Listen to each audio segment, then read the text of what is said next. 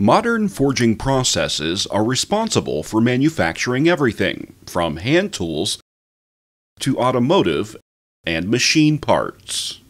The raw material used for forgings are produced and delivered in the form of bar stock, usually in random lengths up to 6 meters or 20 feet. Bar stock may be circular or square with rounded corners. The forge shop then cuts these bars into billets of the required size before forging. Some parts are forged at room temperature. However, most conventional forgings are heated prior to being forged, and therefore require less force and energy in the process.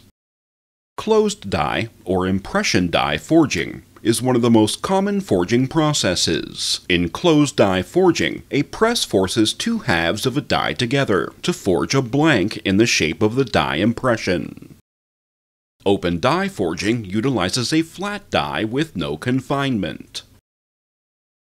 Ring rolling pierces a round steel billet with a mandrel to form a donut-shaped ring. The hot ring is then rolled between a drive roll, an idler roll, and axis rolls to form the desired shape. Powder forging, also known as powder metallurgy, involves the confined forging of metal powders in a die.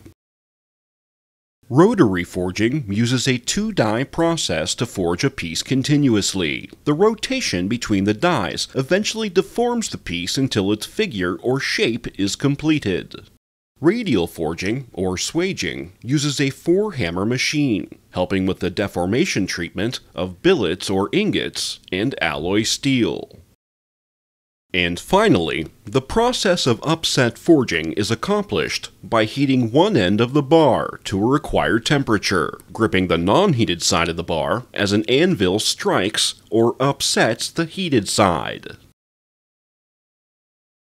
Once forged, excess material, referred to as flash, can then be trimmed away from the part. Forgings are then cooled and ready for further requirements, such as heat treating or machining.